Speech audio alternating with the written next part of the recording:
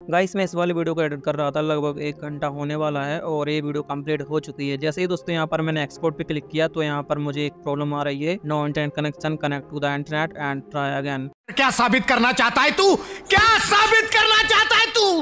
तू ये वाली प्रॉब्लम गाइस मुझको कैपकट में देखने को मिल रही है और आप में से काफ़ी सारे व्यूअर्स के भी कमेंट्स आए थे कि हम वीडियो को एक्सपोर्ट नहीं कर पा रहे हैं। कैपकट में नॉन ट्रैन कनेक्शन की प्रॉब्लम आ रही है। तो इस प्रॉब्लम का सोल्यूशन बताइए। तो फाइनली वो वीडियो आ चुकी है। तो हम इस वाली प्रॉब्लम कैसे सॉल्व कर सकते हैं। चलिए जानते हैं। तो यहाँ से हम करेंगे बैक गाइस आपको कुछ सेटिंग्स को भी ऑन करना होगा। इसलिए वीडियो को पूरा ज़ोर देखना। बिल्कुल भी स्किप मत करना। ठीक है? सबसे पहले गाइस आपको यहाँ पर मी पे क्लिक कर देना है।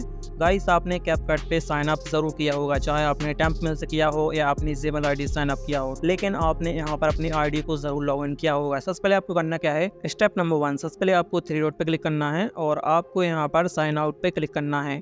उसके बाद गाइस आपकी जो भी आईडी है कैपकट से दोस्तों, यहाँ पर लॉग आउट हो जाएगी, ठीक है? अब आपको करना क्या है? वो बताता हूँ। आपको करना है कैपकट को यहाँ से क्लोज स्टेप नंबर टू, अब आपको करना है कैपकट पे थोड़ी देर टैप, उसके बाद आपको ऐप इन्फो पे क्लिक कर देना है। यहाँ पर आपको फ़र्स्ट सेटिंग को टर्न ऑन करना है।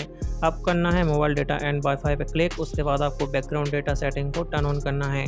उसके बाद दोस्तों अंडरस्टूड डेटा भी आ जाएगा तो आपको इस सेटिंग को भी टर्न ऑन कर देना है।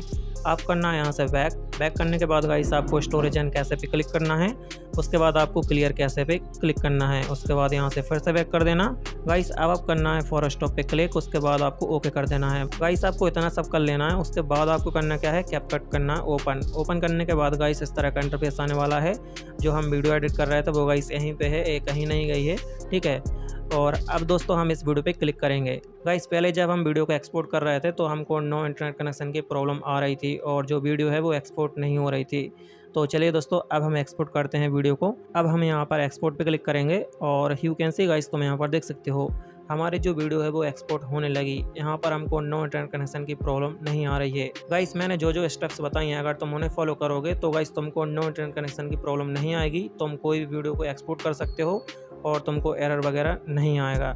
और हाँ गाइस इतना सब करने के बाद भी अगर तुमको कोई भी प्रॉब्लम आती है कैपकट में तो तुम मुझे नीचे कमेंट करके ज़रूर बता देना, ठीक है? नेक्स्ट वीडियो में उस पर बना दूँगा। थैंक्स फॉर वॉचिंग मिलेंगे हम नेक्स्ट वीडियो में।